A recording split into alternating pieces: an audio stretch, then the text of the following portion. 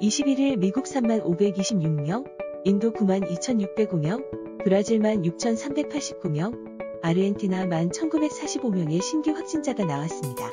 전 세계 코로나19 사망자가 100만 명에 근접했습니다. 21일 기준 신규 확진자 70명, 누적 확진자 2만 3,045명으로 이틀 연속 두 자릿수를 기록하고 있습니다.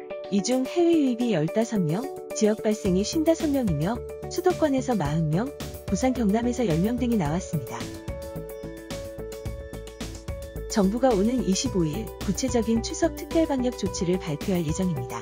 정부는 27일까지는 전국의 사회적 거리두기 2단계를 실시하고 이후 2주간 방역의 수위를 2단계 이상으로 높여 대응한다는 계획입니다.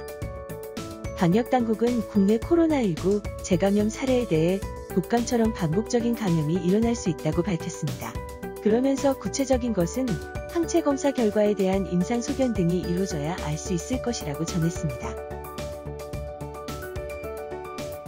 러시아가 오는 27일부터 한국을 포함한 4개 국가의 항공편 운항을 재개하고 동시에 입국 금지 조치도 해제합니다.